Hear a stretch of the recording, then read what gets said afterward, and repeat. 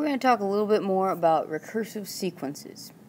Alright, so if we want to just jump right into an example here and find a recursive formula for this. A recursive formula needs two parts. The first part that it needs to have is it needs to say a sub 1 equals something. You need to be given some information. So you need to fill out that first. The second thing you need to do is you need to figure out what is happening from one to the next.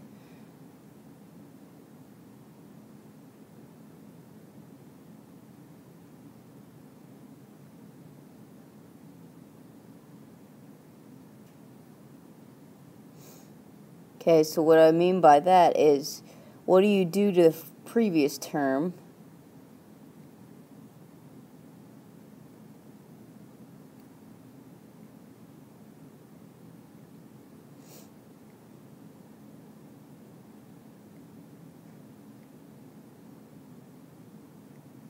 To get to the next term.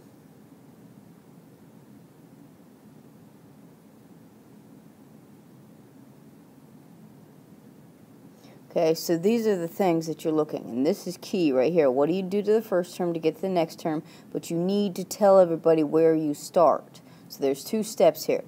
So on this first one, 2, 7, 12, 17, 22. If I want to find a recursive formula, the first thing I'm going to do is say a sub 1 equals something.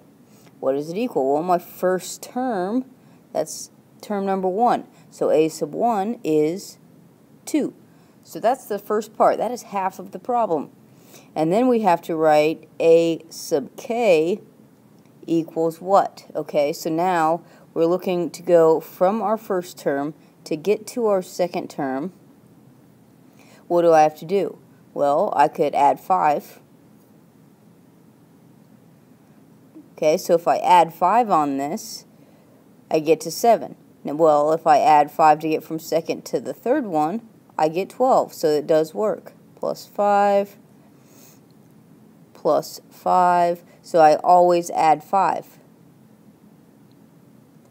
So it seems like the thing that I do is I add 5 starting at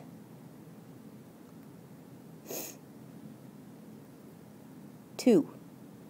Okay, so this is how I would explain what is happening, but how would I write it? Well, I have my first term, so to denote my first term, what I'm going to do is say a sub k is going to equal the previous term, so I say a sub k minus 1, because that would be one number before the a sub k term. And then I'm adding 5.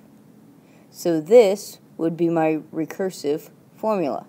This would be in words explaining what is happening. And then this is the formula. So make sure you understand the, the differences. In this next example, we want to find the recursive formula again. So we need to first understand what is happening. We need to find our first term.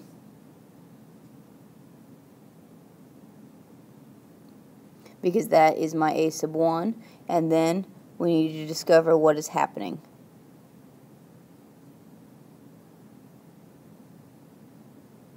Okay, so my first term. My first term is obviously the first number that comes, and so that is 100.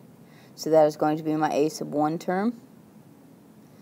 And then what happens? Okay, so what is happening? To go from 100 to 20, I could subtract 80 but that doesn't make sense because going from 20 to 4, I don't subtract 80. So I'm going to look at dividing because it's smaller, so I'm going to divide it. If I divide by 5, I get to 20. If I divide by 5, I get to 4. If I divide by 5, I get to 4 fifths. So it seems like once I start at 100, I divide by 5. So I divide the previous term by 5. So now I write it as a formula.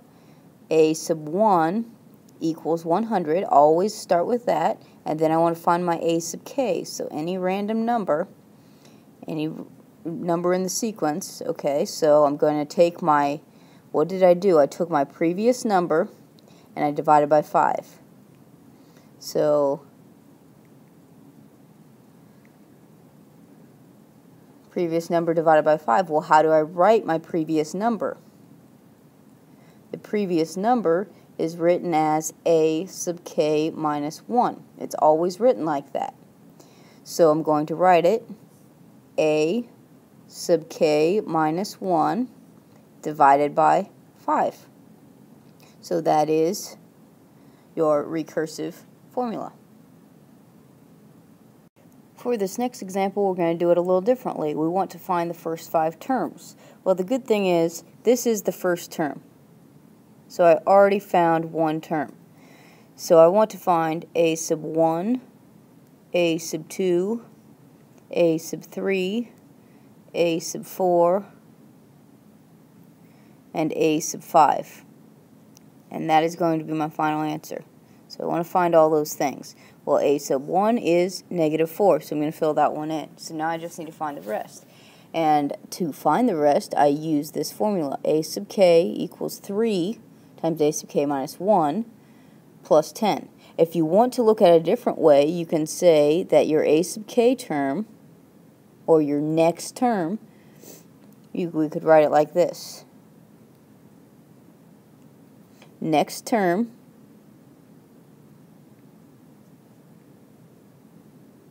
equals 3 times the previous term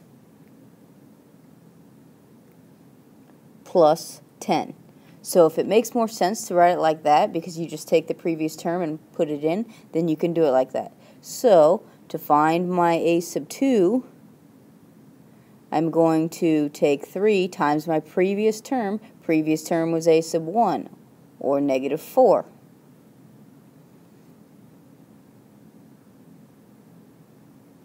because a sub 1 comes before a sub 2, and then I add 10. So when I solve that, I get negative 12 plus 10, or negative 2. So I'm going to put negative 2. So now my previous term is negative 2. So a sub 3 is going to equal 3 times my previous term, which is negative 2 and then I add 10, giving me negative 6 plus 10, which is a positive 4. So I put in 4.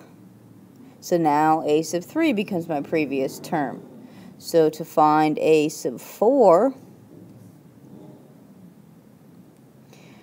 I'm going to take 3 times my previous term, which is the 4, insert it right in there,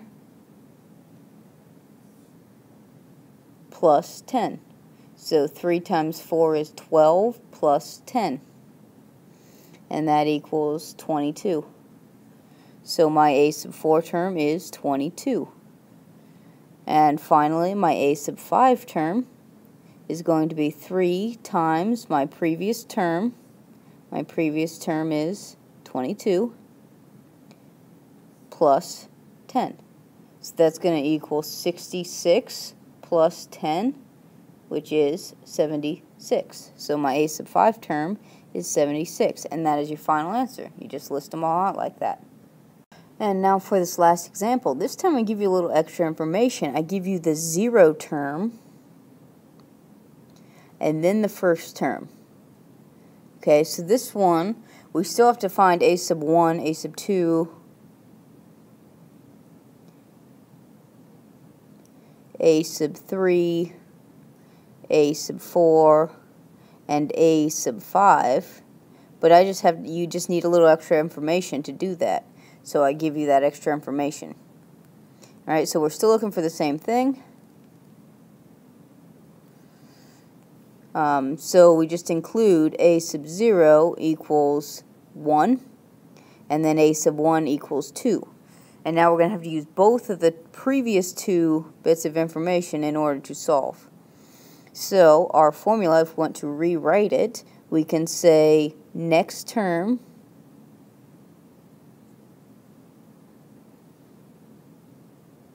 equals uh, previous or two terms ago.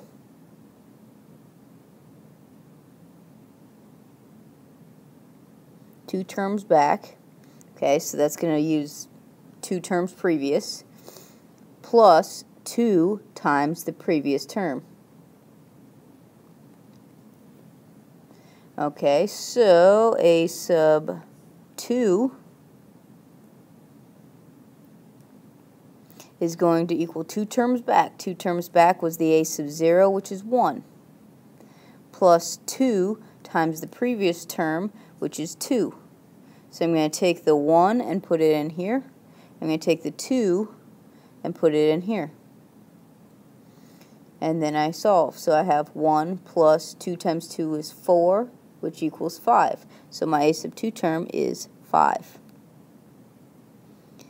Okay, now the next one, I'm going to be looking for a sub 3. So if I look for two terms back, then that would be my a sub 1. So I have 2 plus 2 times the previous term.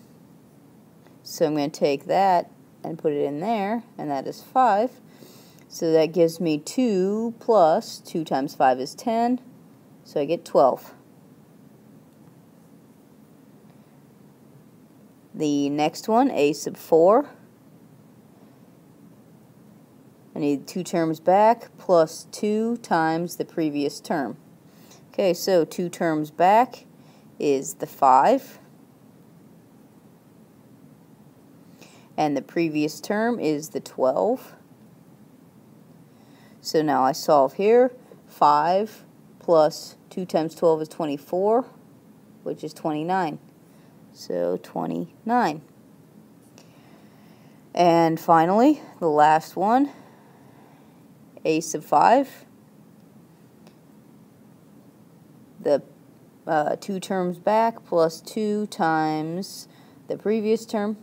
So two terms back is the 12 the previous term is the 29. So what I have is 12 plus 2 times 29, which is 58. So if I add those together, I get 70. So 70. So my final answer is a sub 0 equals 1, a sub 1 equals 2, a sub 2 equals 5, a sub 3 equals 12, a sub 4 equals 29, and a sub 5 equals 70. So there's a few more examples on the recursive formula to hopefully help you clear some things up that you might not quite understand yet.